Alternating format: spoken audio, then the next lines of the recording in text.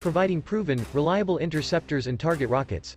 Building on our heritage of providing reliable launch vehicles, Northrop Grumman is a leading provider of interceptors and targets used in the test and verification of the nation's missile defense systems and interceptor boosters employed in the defense of the homeland against long-range ballistic missile attacks.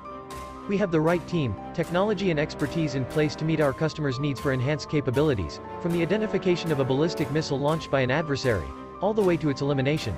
Together, we will offer MDA an effective and affordable solution for defending our nation from these emerging threats.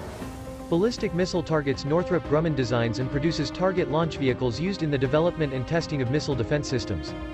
The company's target launch vehicles include suborbital rockets and their principal subsystems, as well as payloads carried by such vehicles. Various branches and agencies of the U.S. military, including the Missile Defense Agency, MDA, use Northrop Grumman's target launch vehicles as targets for defense-related applications such as ballistic missile interceptor testing and related experiments.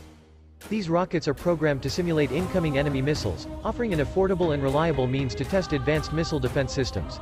Northrop Grumman's family of target vehicles extends from long-range ballistic target launch vehicles, which include targets for testing MDA's ground-based midcourse defense GMD, system, to medium and short-range target vehicles designed to simulate threats to U.S. and allied military forces deployed in overseas theaters.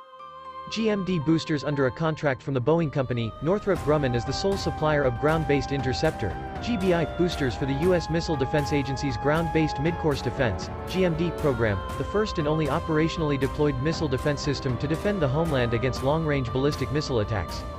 The GMD system is designed to intercept and destroy hostile ballistic missiles in their midcourse phase of flight before they re-enter the Earth's atmosphere.